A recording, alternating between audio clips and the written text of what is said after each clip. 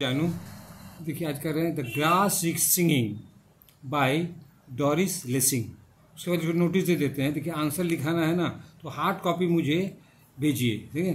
ये इस पोस्टल पते पर professor B K Mishra retired fifty five Raja Hasan road opposite Gyan Ganga book store Mashak Chak Bhagalpur eight one two zero zero one pin है, बिहार है। ठीक है hard copy कैसे भेजिएगा बुक पोस्ट से भेज सकते हैं रजिस्टर पोस्ट से या कोरियर से भी हो सकता है, भेज सकते हैं। और लोकल हो तो हैंड टू हैंड दीजिए। और आई प्रॉब्लम के कारण मुझे ऐसा करना पड़ रहा है। हम मोबाइल से नहीं देखते हैं। ठीक है, अब आइए। Sorry for the interruption grass is singing by Doris Lessing grass question number दे रहा है। Grass is singing 1950 is a novel by Doris Lessing का सिम्बॉलिक मीनिंग उसको अंत में समझाएँ। She is a British writer who was born in Iran she receive the 2007 Nobel prize for literature ठीक है? हर important work सब पहले राइटर के बारे में कुछ देना चाहिए।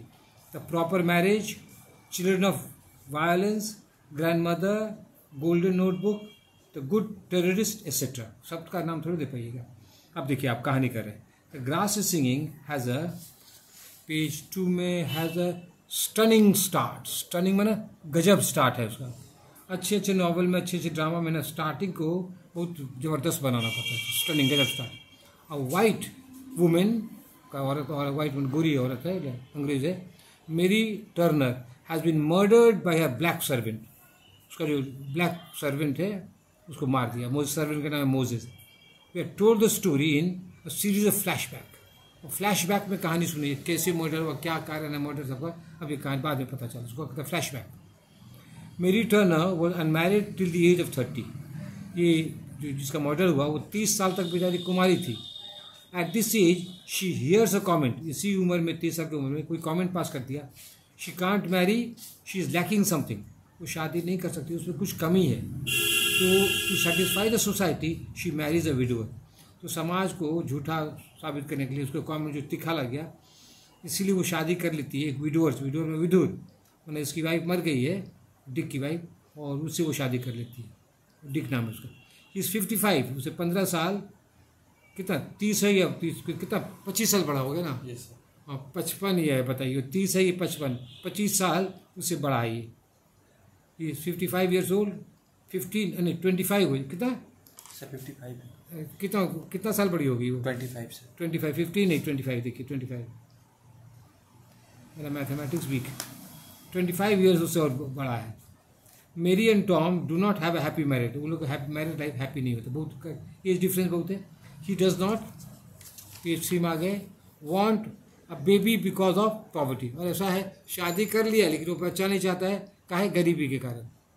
अब डिक जो है, बूढ़ा हस्बैंड बीमार पड़ जाता है। Mary has to look after the field and workers अब मेरी ही खेत खलिहान का देख रेख करती है तो नौकर चाकर सबको देख रेख करती है। She treat the black workers cruelly और जिसमें क्या खराबी है? मेरी में, जो ब्लैक वर्कर जो है, काला रंग का जो वर्कर है उसको बहुत कठोरता से डील करती है क्रूअली क्रूअली है। अब देखिए one day she whips a black worker name Moses वो मोजेस से कोई ब्लैक वर्कर है तो कोड़ा से पीटती है। अब स्कार अपियर्स ऑन फेस उसके चेहरे पर कोड़े का दाग रह जाता है। इतना खराब तरीके से पीटी है। Mary thinks are the whites are masters black slaves देखिए कैसे लिखे हैं। मेरी क्या सोचती है, जो गोरा सब है, वो मालिक है और ब्लैक स्लेव्स सेमिकोलन है, कॉमा है स्लेव फिर से Mary thinks that the whites are masters black slaves as time passes Mary becomes very old weak समय गुजरते रहता है तो वो भी कमज़ोर हो जाती है। और husband Dick appoints Moses as a maid servant to nurse Mary अब देखिए, अब बूढ़ा हस्बैंड जो है, उसको क्या करता है? मोजेस को अपॉइंट कर देता है। ये तो है लड़का, लेकिन मेड सर्वेंट का काम, लड़की का काम करने को उसको भेज देता है मेरी को नर्स करने के लिए। अब देखिए क्या क्या तमाशा होता है। For Moses is not happy with this work Moses को ये काम अच्छा नहीं लगता क्या औरत का देख रेख करें, ठीक है? Moses has to dress Mary Moses को क्या करना पड़ता है? लड़का है, फिर भी मेरी को उसको कपड़ा पहनाना पड़ता है, कपड़ा खोलना पड़ता है, नहलाना पड़ता है। आप समझ सकते हो क्या क्या करता है। Mister Slater a white does not like this relationship between Moses and Mary तो स्लैटर एक वाइट आदमी है। उसको ये संबंध अच्छा नहीं लगता मोजेज और मेरी में। वो क्या कहते हैं, मुझे वो लड़का जो है और ये मालकिन जो है, बूढ़ी मालकिन है। Mister Slater thinks that Mary is trying to break the colour bar ये सोचता है, ये मेरी जो है, जो ब्लैक वाइट में जो रेखा है, जो अंतर है, उसको ख़त्म करना चाहता है। उसका गंदा मानी वो लगा सकते हैं। The fact is Mary hate the touch of a black और सच्चाई क्या मेरी तो काला को छूना नहीं चाहती है। मोरी हे मोजेज हेट्स मेरी और मोजेज भी मेरी को हेट करता है। और क्या करता है, बहुत खतरनाक काम ही मर्डर्स है उसको मर्डर ही कर देता है। Moses does not run away from the police लेकिन वो भागता नहीं पुलिस से। ही कन्फेसेस इज़ क्राइम और वो जो गलती किया है क्राइम किया है, पुलिस को कह देता हाँ हम हमारे हैं। क्या ही हैज़ रिवेंज क्यों मारता बदला लेता है। उसको बहुत सताई है, मालकिन जो है वो ब्लैक को बहुत सताया गया, इसीलिए उस गुस्सा में बदला ले लेता है। To conclude grass is singing as a moral जो शिक्षा है। The title has been taken from T S Eliot the waste आप देखिए टाइटल समझा रहे हैं। टी एस सीलेट का पोएम जो वेस्ट लैंड में क्या है? देखिए, उसका लाइन कोट किया in this decayed hole the grass is singing इस सड़े हुए छेद में ना, घास जो है, गाना गा रहा है।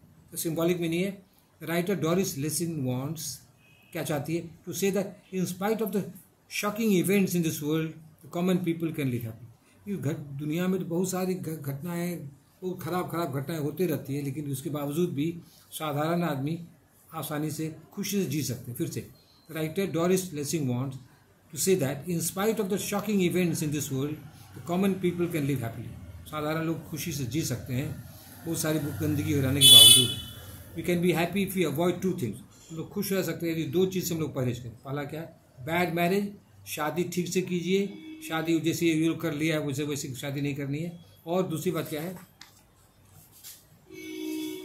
Hatred on the ground of race black and white high caste और low caste should be avoided और इसको हम लोग को अवॉइड करना है।